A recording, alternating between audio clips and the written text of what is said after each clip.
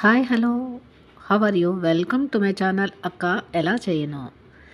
ఈరోజు నేను ఏం చేసి చూపిస్తున్నానో తెలుసా అండి? వెజ్ ఆమ్లెట్ వెజ్ ఆమ్లెట్ ఏంటా అనుకుంటున్నారా? అవునండి. దీనిని శనగపిండితో చేస్తారు. చాలా చాలా టేస్టీగా ఉంటుంది. దీనిని చిన్న పిల్లల నుంచి పెద్దవాళ్ళ వరకు అందరూ ఇష్టపడి తినే రెసిపీ అన్నమాట. ఇది తప్పకుండా మీరు అందరూ ట్రై చేయాలి. చిన్నపిల్లలు చాలా ఇష్టంగా తింటారండి దీనిని. ఎందుకంటే దీనిలో అన్ని వెజిటబుల్స్ పడతాయి డిఫరెంట్ టేస్ట్లో ఉంటుందన్నమాట ఇది. ఎవ్వరికీ తెలియదు సహజంగా ఇది ఇలా చేస్తారు అని చెప్పేసి. అందుకనే నేను ఇది చేసి చూపించబోతున్నాను.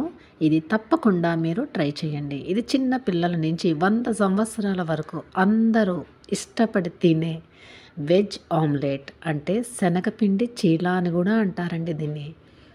ఇప్పుడు దీన్ని ఎలా చేస్తాము ఏంటనేది నేను చూపిస్తున్నాను. ఇప్పుడు మనం ఒక బౌల్ తీసుకొని ఒక టూ ఫిఫ్టీ గ్రామ్స్ శనగపిండి త్రీ స్పూన్స్ రైస్ ఫ్లోర్ అంటే బియ్య పిండిని వన్ టేబుల్ స్పూన్ పసుపు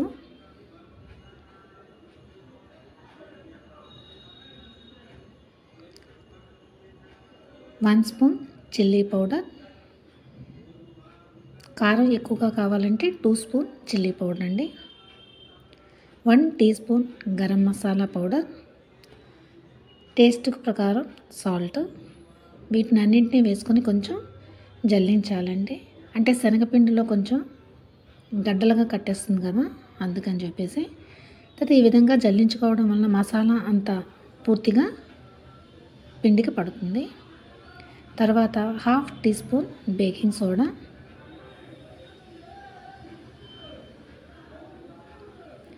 తర్వాత వీటిని అన్నిటినీ కలపటానికి వాటర్ అనేది రిక్వైర్మెంట్ ప్రకారం యూజ్ చేయాలి.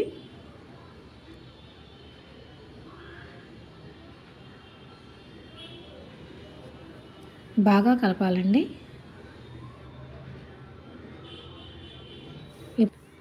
ఇప్పుడు చిన్నపిల్లలు సహజంగా ఏం చేస్తారంటే కూరగాయ ముక్కలు బయట కనిపిస్తే తినరు కదండి. అందుకనే వాళ్ళ కోసము క్యాబేజీ ప్లస్ ఆనియన్ అంటే ఉల్లిపాయను చాలా సన్నగా తరుక్కోవాలండి. వాటిని వేయాలి తర్వాత క్యారెట్ను పూర్తిగా అంటే సన్నగా తరుక్కోవాలి. దానిని కూడా మనం దీంట్లో వేయాలి. అంటే కూరగాయలు అనేది ముక్కలు అనేవి మన ఇష్ట ప్రకారం ఎంతైనా వేసుకోవచ్చండి. నేనైతే ఒక ఐదు క్యారెట్లను శుభ్రంగా సన్నగా నేను తరిగానండి. తర్వాత క్యాబేజీని ఆనియన్స్ని కూడా చాలా సన్నగా అంటే పిల్లలకు అస్సలు కనిపించకుండా వాళ్ళకి ఏంటంటే ఇది మనం వేసాము అని వాళ్ళకి తెలియకూడదు. ఆ విధంగా సన్నగా మనం తరుక్కోవాలి. లేకపోతే దీనిని మిక్సీలో అన్న వేసుకోవచ్చు.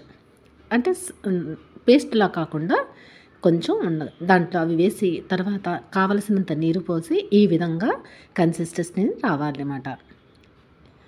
తర్వాత మనం ప్యాన్ పెట్టుకొని దాని మీద ఆయిల్ అప్లై చేసి ఇప్పుడు మనం కలిపి పెట్టుకున్న శనగపిండి పిండిని వేయాలండి. చూడండి ఈ విధంగా వేస్తే అసలు ఎక్కడైనా కూరగాయ ముక్కలు కనిపిస్తున్నాయో లేదు కదా? పిల్లలకు అస్సలు తెలియదు మనం దాంట్లో కూరగాయ ముక్కలు వేసాము అని చెప్పేసి. ఆ విధంగా దీనిని కాల్చుకోవాలి. ఇది ఏంటంటే లో ఫ్లేమ్లో పెట్టి కాల్చాలండి. ఇది కొంచెం కాల్చడానికి టైం అయితే పడుతుంది కానీ చాలా టేస్టీగా ఉంటుంది. పిల్లలకు చాలా హెల్దీ కూడా అని దీంట్లో కావాలంటే కొత్తిమీర కూడా వేసుకోవచ్చండి. కానీ కొత్తిమీర చూస్తే పిల్లలకు తెలిసిపోతుంది కదా దీంట్లో ఏదో వేసారని తీసేసి పడేస్తారు. ఇప్పుడు ఈ విధంగా ఉంటే అస్సలు వాళ్ళకి తెలియదు. ఎందుకంటే క్యాబేజీ కానీ ఉల్లిపాయలు కానీ క్యారెట్ కూడా ఏంటంటే శనగపిండి కలర్లో కలిసిపోయింది. అందుకని చెప్పేసి అందుకని ఈ విధంగా చేసి మీ పిల్లలకు తప్పకుండా పెట్టండి. మంచి హెల్దీగా ఉంటుంది టేస్టీగా ఉంటుంది. చూడండి కాలిపోయింది కదా దీనిని మనం తీసాం. చూడండి ఎంత కలర్ఫుల్గా చాలా బాగుంది కదా. వాళ్ళకి అసలు తెలియనే తెలియదు పిల్లలకి. దీంట్లో మనం కూరగాయలు వేసామని చెప్పేసి. బాగుంది కదా? మరి తప్పకుండా ట్రై చేయండి. ఇంకా పెద్దవాళ్ళు ఎలా చేయాలి అని చెప్పేసి నేను చూస్తున్నా. పెద్దవాళ్ళు అనేది కూరగాయ ముక్కలు సహజంగా ఇష్టపడే తింటారు కదండి. అందుకని ముందు మనం బేసన్ని కలిపి పెట్టుకున్నాం కదా శనగపిండిని ఆ మిశ్రమాన్ని మనం అట్టుగా అప్లై చేయాలి ముందు. అట్టుగా దానిని వేసాను అనమాట శనగపిండిని. ముందు నీ తీసుకున్నామో తీసుకున్నాము అది. దాని మీద పెద్దలు అనేది సహజంగా తింటారు కదా కూరగాయలు. అందుకని ఉల్లిపాయ ముక్కలు తర్వాత క్యారెట్ని. దాని మీద నేను జల్లాను బాగానే. తర్వాత పెద్దవాళ్ళు అనేది పచ్చిమిరపకాయలు కూడా తింటాం కదండి మనం.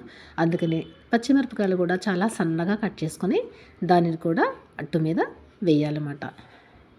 మనం ఆమ్లెట్ని ఇలాగే కదండి చేసుకుంటాం మనం.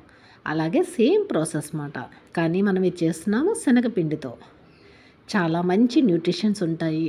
చాలా టేస్టీగా ఉంటుంది. పెద్దవాళ్ళు నుంచి చిన్న పిల్లల దాకా చాలా ఇష్టపడి తినేదండి ఇది. ఇప్పుడు ఈ విధంగా చేసిన తర్వాత దీనిని మీద మూత పెట్టి ఒక ఫైవ్ మినిట్స్ ఉంచాలండి. దీనిని మనం లో ఫ్లేమ్లో మాత్రమే పెట్టాలి. హై ఫ్లేమ్లో అస్సలు పెట్టకూడదు. హై ఫ్లేమ్లో పెడితే కింద మాడిపోతుంది అందుకని. చూడండి పొగలు వస్తూ పూర్తిగా కూరగాయ ముక్కలు అన్నీ బాగా మగ్గిపోయి చాలా చక్కగా ఉడికిందన్నమాట. ఇప్పుడు మనం గెరిటి పెట్టి మనం తీస్తుంటే చక్కగా వచ్చేస్తుంది అన్నమాట ఈ విధంగా ఉండాలి. దీన్ని సెకండ్ వైపుకు తిప్పే అవసరం లేదండి. ఇప్పుడు దీనిని మనం ప్లేట్లోకి తీసేసుకుందాం. చూడండి ఎంతో చక్కగా మనకి వెజ్ ఆమ్లెట్ తయారైపోయింది కదా? Okay. Okay thanks for watching.